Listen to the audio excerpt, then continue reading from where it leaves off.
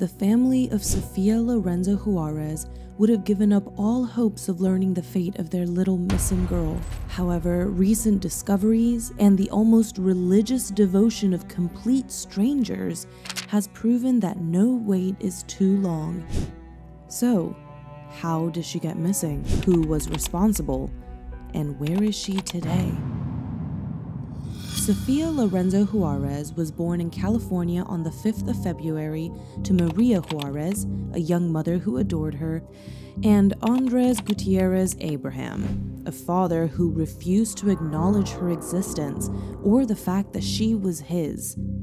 Since Maria was still a teenager at the time, she was wise enough to realize that she couldn't properly raise Sofia on her own. To do that, she would need all the support she could get. So she turned to her mother, Ignacia Prado Juarez.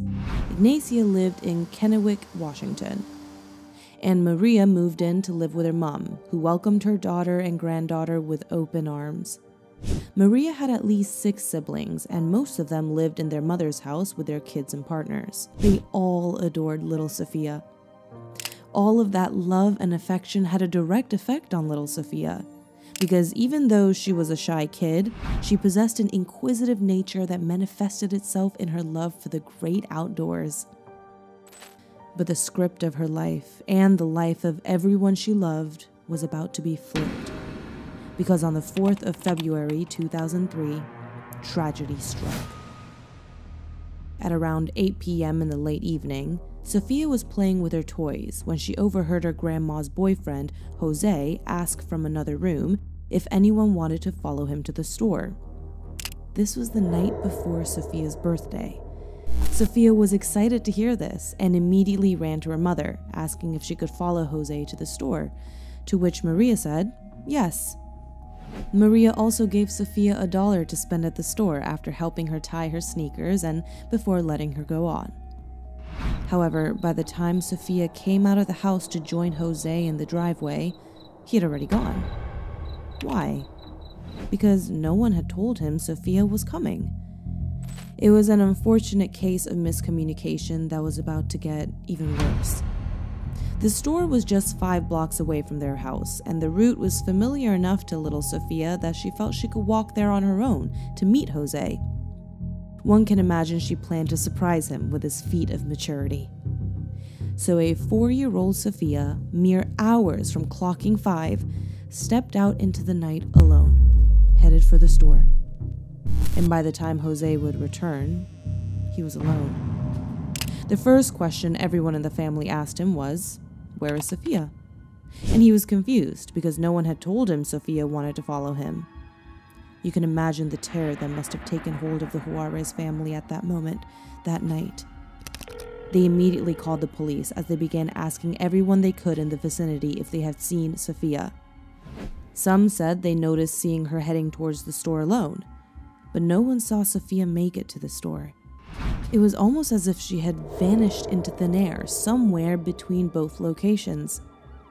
Three minutes after the 911 call, the police arrived, and they launched the most extensive and most intensive missing person search in the history of the state of Washington.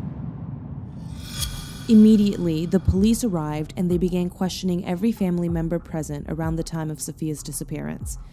Meanwhile, seven patrol officers searched everywhere and everything within a three mile radius of her neighborhood. One of the first clues came that night from one of her cousins, who said he saw Sofia walking down the driveway with a strange man clad in all black. However, because the boy was really young, they considered his account of events unreliable. The house was also extensively searched by cadaver dogs for any sign of foul play on the part of the family. And before you raise your torches, it's a common procedure, and you might be relieved to know that nothing was found. After initial investigations and the external search had proven to be fruitless, the safest assumption was ruled out.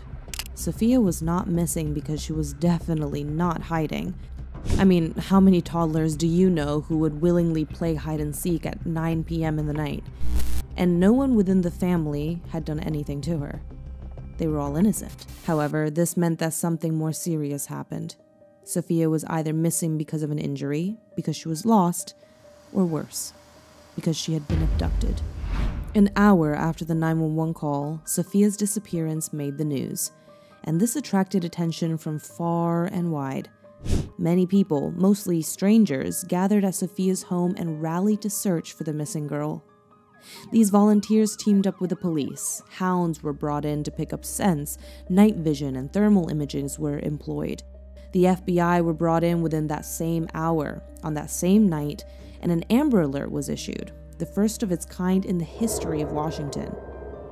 By the following morning, the Coast Guard was called in. Nearby rivers were searched, city crews searched sewer systems, flyers were distributed, and a $6,000 reward was sent out for anyone with any information that could lead to finding Sofia. The police also grilled every offender who lived around that area, painstakingly interrogating each and every one of them until they were sure the offenders had nothing to do with the disappearance of the little girl. While this was happening, the police encouraged the public to send any information that could help in the rescue of the little girl, and at the height of the case, they had accumulated up to 800 tips, but none of them led anywhere.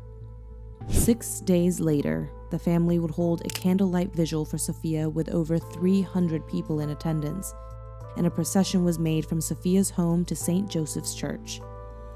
Meanwhile, the search continued as the case lost steam and the will of those searching grew cold. In the weeks and months that followed, everyone came up with their theories of what had happened.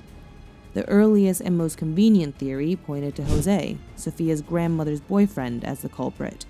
The belief was that he had secretly taken the girl and done something horrible to her. However, like we mentioned earlier, he was thoroughly interrogated by the police, and CCTV cameras at the store confirmed that he hadn't arrived with Sofia. However, there was one other person that drew suspicious another member of her family, her dad. However, he denied having anything to do with her disappearance and told the cops that he didn't even know she was missing because he had never met her and wasn't even in communication with her mom.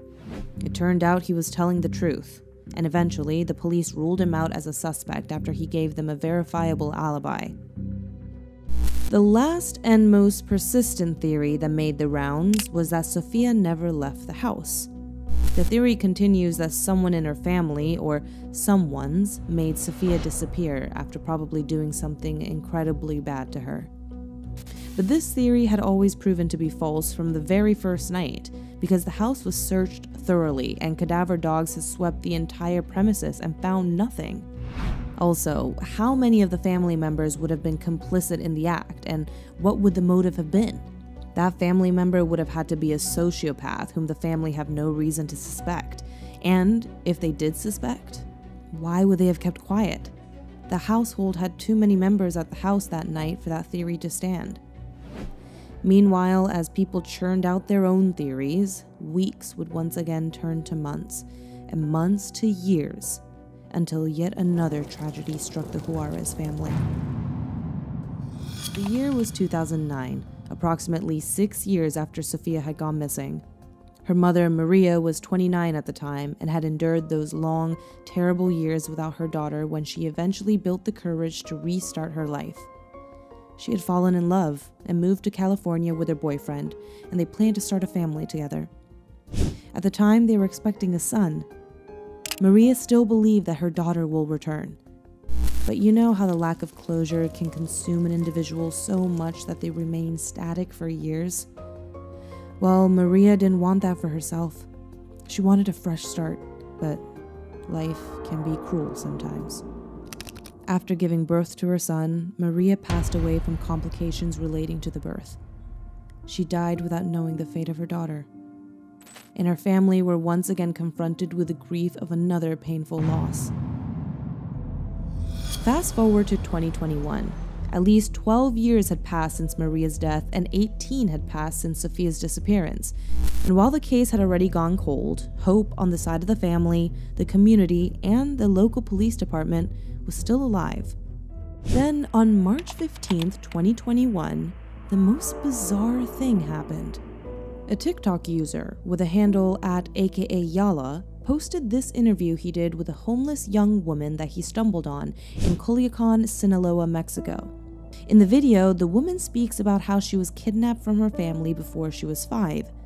She says her age is 22 and that if any of her family members are watching, she wants to come back home.